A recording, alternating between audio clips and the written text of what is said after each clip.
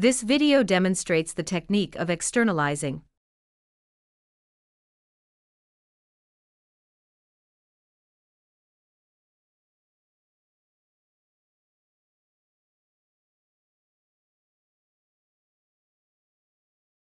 Bennu, Eagle Girl. At the end of the last session, you were beginning to take flight. Yes. And I took a few steps this week, to show Mama and Baba, little bits of Eagle Girl. What was it like for you, to take that risk, to show yourself to them? It felt really good. They seemed intrigued, and surprised, by my school science project. But, But, I sensed hesitation, when I started to talk about competing in the regional science fair.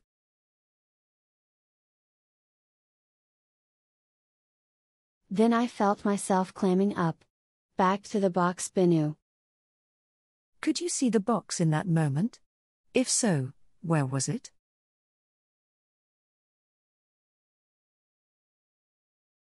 Yes, it appeared in between them. Although it seemed like Baba brought it with him. Mama put her hand on it, but she kept looking right at me.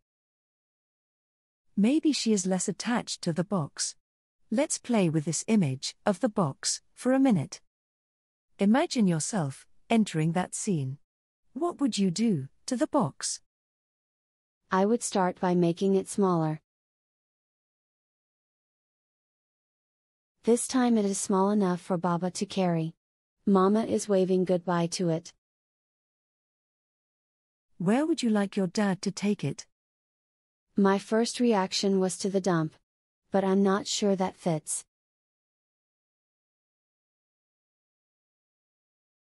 I don't feel like they are ready yet to support me to throw it out altogether, even Mama. Maybe I'm not quite ready. Maybe you are ready for a smaller step. How else might you deal with the box? Maybe I could lock it in the attic for a while.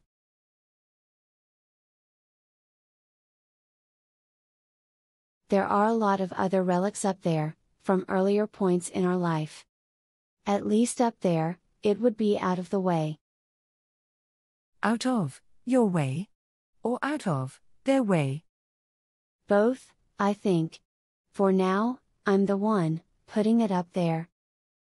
But maybe later, Baba will be ready, to take it to the dump with me. And, how will you know if the box starts to pull a Houdini and tries to escape from the attic? Who is going to hold onto those keys to the attic? I'm the keeper of the keys.